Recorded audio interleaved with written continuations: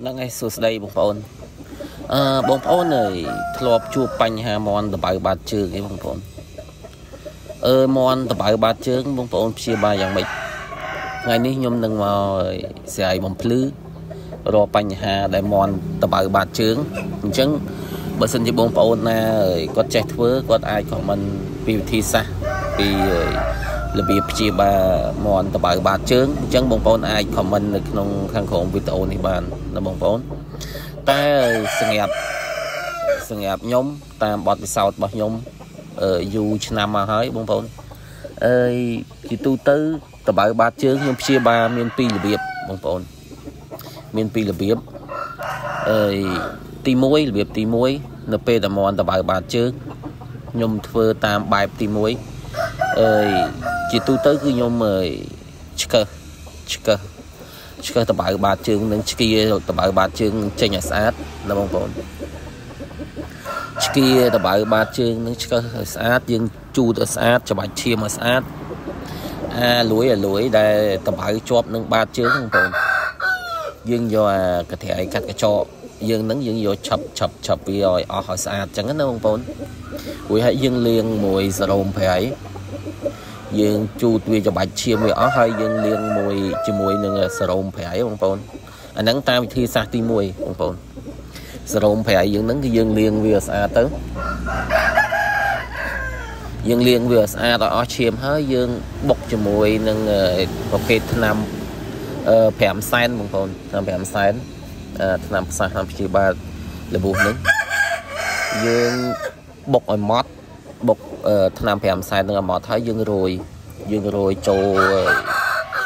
ចូលទៅក្នុងតបៅបាតជើងយើងអើយមន់ហ្នឹងអញ្ចឹង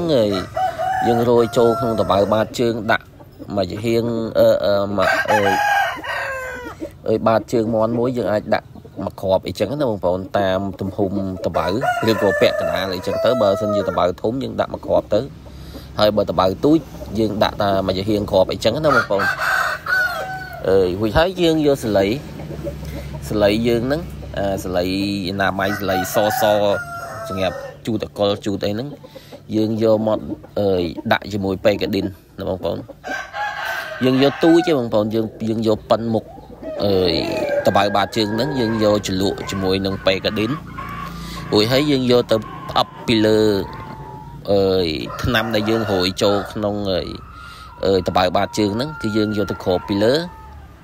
យកអាសលៃជ្រលក់មួយពេកាឌីនណាបងប្អូនយើងយកទៅជ្រលក់ជាមួយពេកាឌីនហើយយើងយកទៅគ្របពីលើនឹងថ្នាំដែលយើងរោយចូលនៅមុខរបួសនៅអើយអើយតបៅបាតជើងហ្នឹងរួចហើយយើងយកស្គុតរុំពីលើការរុំហ្នឹងយើងមិនមែនរុំតឹងពេកទេណាបងប្អូនយើងរុំធូរល្មមតែមកអាចយើងមានខ្យល់លក្ខណៈថាយើងឲ្យមន់វាមានចលនាម្រាមជើងម្រាមអីណាបងប្អូនមិនមែនទៅដល់រុំឲ្យ ដូចរុំផ្លែរុំអីណាបងប្អូន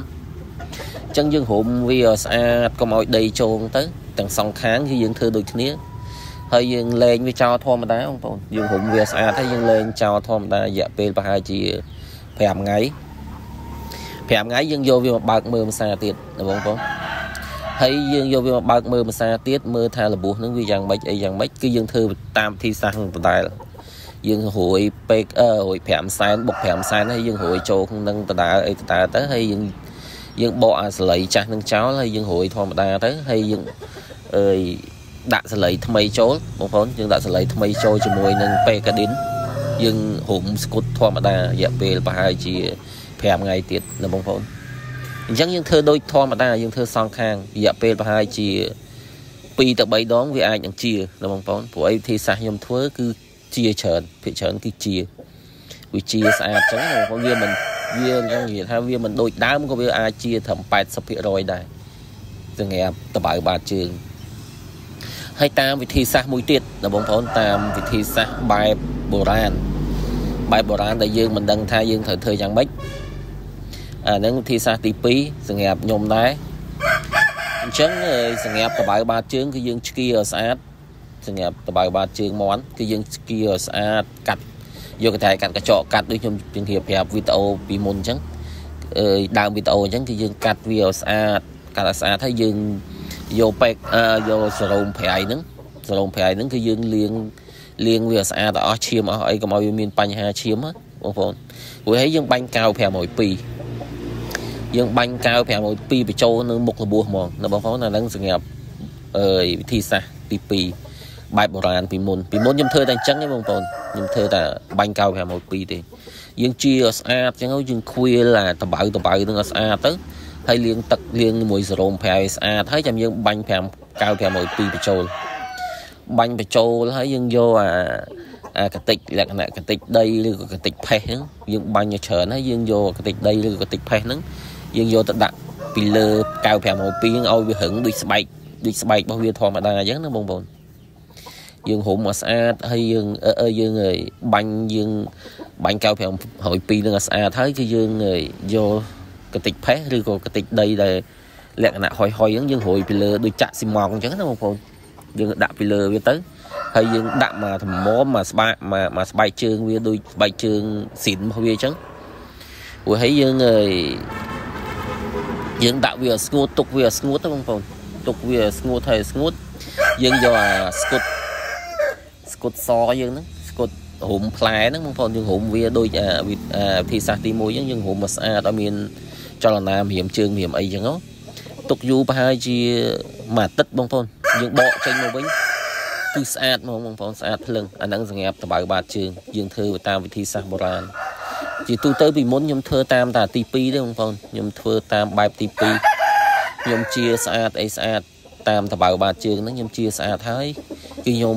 លាងជាមួយសេរ៉ូមប្រែខ្ញុំបាញ់បាញ់កៅ5មួយ2បញ្ចូលហើយខ្ញុំយកកតិចផេះយទូទៅខ្ញុំយកកតិចផេះព្រោះអីកតិចផេះវារឹងបងប្អូនយើងដាក់ពីលើជាមួយនឹង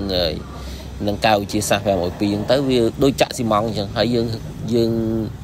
កោសវាឲ្យស្មើនឹងដូចស្បែកជើងស៊ីនរបស់វាបងប្អូនហើយយើងរុំស្គុតពីលើទៅយើងទុកឲ្យស្ងួតហើយចាំយើងរុំស្គុតបងប្អូនយើងរុំស្គុតពីលើឲ្យស្អាតអញ្ចឹងទុកប្រហែលជាមួយអាទិត្យយើងបកឡើង ជាបងប្អូនជាហ្មងហើយវាអត់មានបញ្ហាឈឺអត់មានបញ្ហាហើមអីទៀតទេគឺវាជាស្អាតហ្មងអញ្ចឹងវិធីសាស្ត្រទាំងពីរហ្នឹងបងប្អូនអាចជ្រើសរើសយកវិធីសាស្ត្រមួយណាក៏បានដែរសម្រាប់ព្យាបាលដំបៅបាតជើងមន់ដែលបងប្អូនអត់ដឹងថាត្រូវធ្វើម៉េចដំបៅបាតជើងហ្នឹងជាទូទៅបើយើងអត់ព្យាបាលទេវាវាខូចបងប្អូនវាខូចវាហើមយូរទៅវាលួយមន់ដើរអត់រួចវាខូចអញ្ចឹងវាស្ដាយមន់យើងស្ដាយសម្រាប់មន់ដែលមានបញ្ហាដំបៅបាតជើងហ្នឹង ហើយវិធីសាស្ត្រទាំងពីរហ្នឹងបងប្អូនអាចសាកល្បងបានមួយណាក៏ក៏ទទួលផលដែរបងប្អូនសម្រាប់វិធីសាស្ត្រពីរហ្នឹងមួយណាក៏ទទួលផលដែរព្រោះអីខ្ញុំធ្លាប់ខ្ញុំធ្លាប់ធ្វើខ្ញុំឆ្លងកាត់ហើយទាំងទាំងពីរវិធីវិធីសាស្ត្រហ្នឹងបងប្អូនគឺធ្វើទៅគឺបានផលបងប្អូនគឺបានផលវាអត់ឈឺវាអត់អីចឹងណាប៉ុន្តែបើយើងទុកចោលវាឈឺវាខូចមាត់យើងដដែលទេអញ្ចឹងយើងសាកល្បងព្យាបាលទៅដល់បងប្អូនហ្នឹងហើយបងប្អូនហើយសង្ឃឹមថាបងប្អូនមានបញ្ហាអនុវត្តតាមវិធីសាស្ត្រ ទាំងពីរហ្នឹងមួយណាក៏បានដែរបងប្អូនហ្នឹងហើយអរគុណច្រើនបងប្អូន